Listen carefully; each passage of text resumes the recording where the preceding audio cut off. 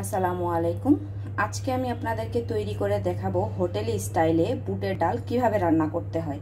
তো এর জন্য আমি বুটের ডাল ভিজিয়ে রেখেছিলাম ছয় থেকে সাত ঘণ্টার জন্য। আপনারা আপনাদের সুবিধা অনুযায়ী ভিজিয়ে রাখবেন।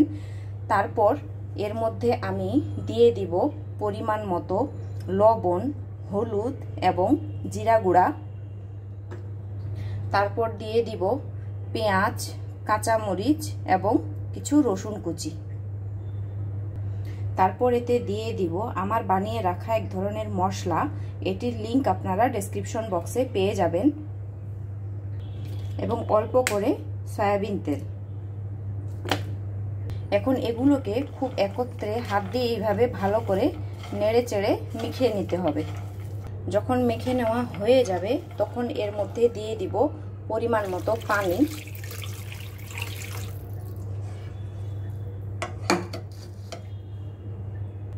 তারপর চুলাটি অন করে দিব একদম ফুল আঁচে যতক্ষণ না বলক চলে আসছে এবং ঢাকনা দিয়ে দিব।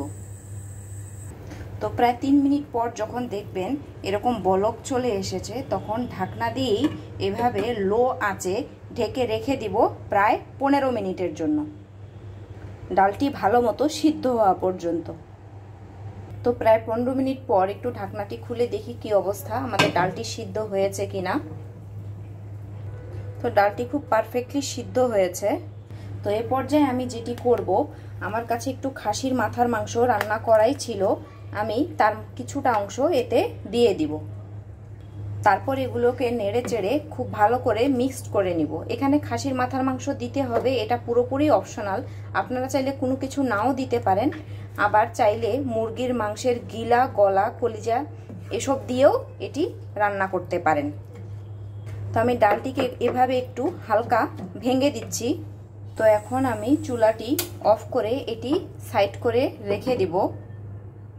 তো বাগার দেওয়ার জন্য আমি আরেকটি পাত্রে সয়াবিন তেল গরম করে নিয়েছি খুব ভালো করে। তারপর এর মধ্যে দিয়ে দিচ্ছি শুকনা মরিচ ফোড়ন।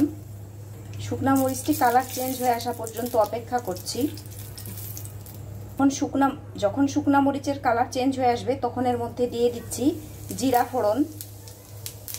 তারপর এগুলো ভালো করে ফুটে এলে দিয়ে দিচ্ছি তেজপাতা, এলাচ, দারচিনি, লং একটি একটি করে শুধুমাত্র ফ্লেভারের জন্য।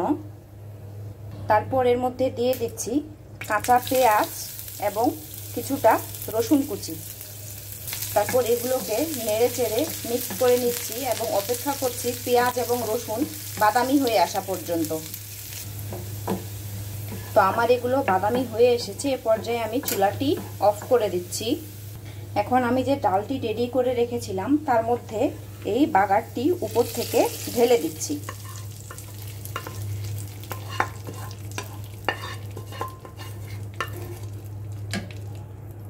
তারপর এটিকে নেড়ে চেড়ে মিক্সড করে দিচ্ছি।